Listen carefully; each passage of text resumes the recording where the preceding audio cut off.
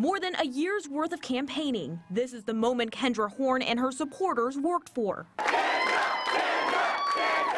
Victory is something the Democratic challenger says was never about herself. The Congresswoman elect for Oklahoma's 5th District ran two nonprofits with a focus on encouraging women to run for office. I think things are changing here. Speaking with CNN Wednesday, Horn credited young voters for helping push her across the finish line. We had a great group of fellows, and getting those voices of young voters and engaging new people in this district really made a difference. This was uh, not on anybody's radar list. The, the National Democratic uh, Party, the uh, Congressional Democrats weren't looking at this as a seat that they were expecting to pick up. James Davenport is a professor of political science at Rose State. He says one of the smartest things Horn's campaign did was start early. So I think uh, if you have an incumbent who feels relatively safe and isn't doing all of the things uh, that you need to do to win, uh, and you have a very energetic candidate who has some other trends moving in their direction, uh, the recipe is just right for an upset